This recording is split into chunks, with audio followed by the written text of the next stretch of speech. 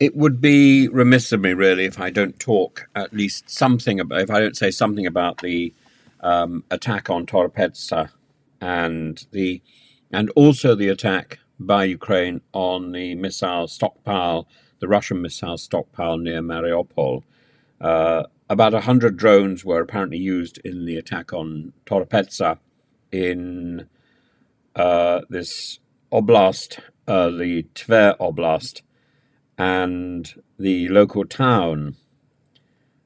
Uh, the, the, the mayor said everything is okay. Uh, there's a little bit of falling debris, but there was such huge blast seen from space that the local mayor then evacuated the town. It was that bad. And the, the, the this was a um, uh, this was a stockpile warehouse that was built to be nuclear resistant. It would withstand, it would withstand a nuclear bomb. Opened between 2015 and 2018 with a big sort of fanfare and clearly completely useless. The Russians are boasting that they took down 54 Ukrainian drones, three over Belgorod, but clearly they didn't do anything over the Tver Oblast. Uh, that was a bit of a disaster, really. In the meantime, there's also a story coming out about the torture and execution of a Ukrainian prisoner of war in Novorodivka, and uh, and, and, and that undoubtedly again is evidence of a war crime. And meanwhile, the drones coming back from Russia into Ukraine, 46 of 52 drones were shot down by Ukrainian defense. Uh, and, uh, and and three or four K, KH3 guided missiles. Uh, all, all, all of this strongly suggests um, a sort of upturn, a an, an, an, optimistic swing in the step for Ukraine. Um, and and and there's also talk. There's a lot of chatter about Putin's health. This time, it's not about whether or not he's in a fridge; it's about whether or not he's uh, his sanity is still intact. So it's not about whether his body survives; it's whether his mind is is is, is there. I long ago I decided his body had been abandoned, uh, but um, his mind, like Sauron, like the mind of Sauron, continues, except in the um, in, in in the futile and rather mad and unwatchable rings of power. I keep thinking maybe I've missed an episode, but no. Uh, last night I managed to catch the episode that I thought I'd missed, and it's still incomprehensible and that is that is why it's so important to have some sort of commentary on YouTube, which I hope I'm adding to, and I hope I'm giving some sort of context. The context is that th- this is about desperation on the part of Russia, uh, desperation and deceit.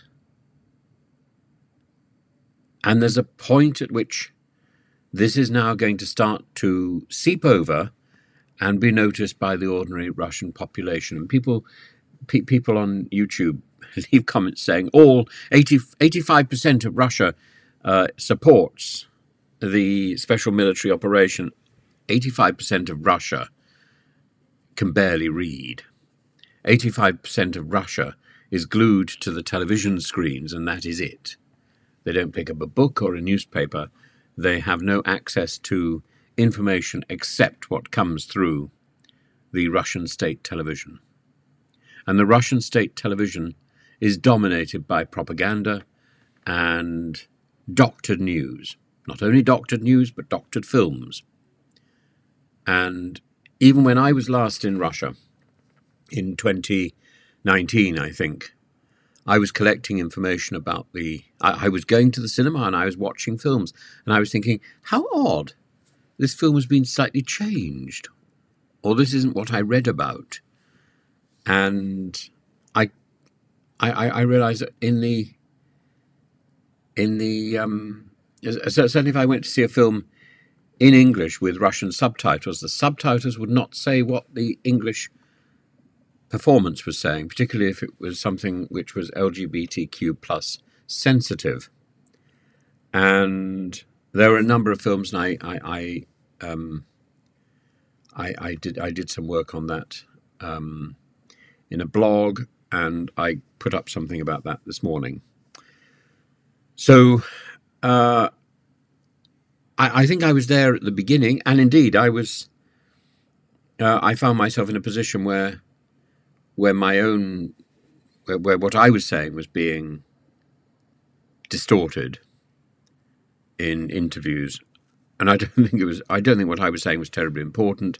I don't think the distortion was terribly important. But the fact that it was distorted and they were just seeing how much they could get away with, and the fact that I had the evidence, and John Curtis, who was also a victim of this distortion, felt that there was something wrong, but he didn't have the evidence.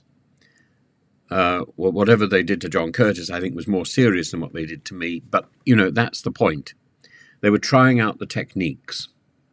And these techniques are very well honed now. It's five years on, it's more than five years on. And this is a very efficient propaganda and censorship organization with laws to back up uh, anybody who sort of and, and, and to penalize anybody who gets out of line. No one is going to go into the street. No one is going to question what Putin did. But people are now privately going to start noticing. And certainly the people that I speak to notice. And and I'm now very reluctant to be in touch with many people because I don't want to compromise them at all. Um, but uh, it's dangerous. People who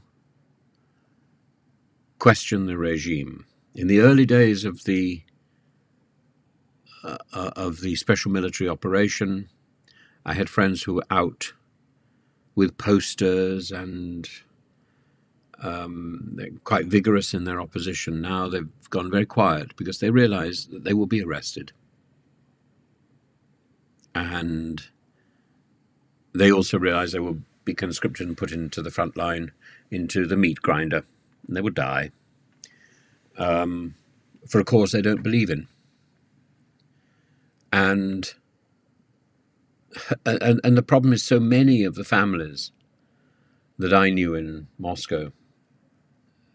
The one side of the family is Russian, the other side is Ukrainian. One side is Christian, the other side is Jewish, um, and th- that is routine. Is routine, and there's um what what Putin has done is to is make people choose. You can't uproot and move. And where would they move to? They move from a country which is relatively safe to a country which is under attack, or they move out of Russia and Ukraine completely. And that requires visas and all manner of organization. And many people wanted to do it, and many people delayed and delayed, and now it's almost impossible.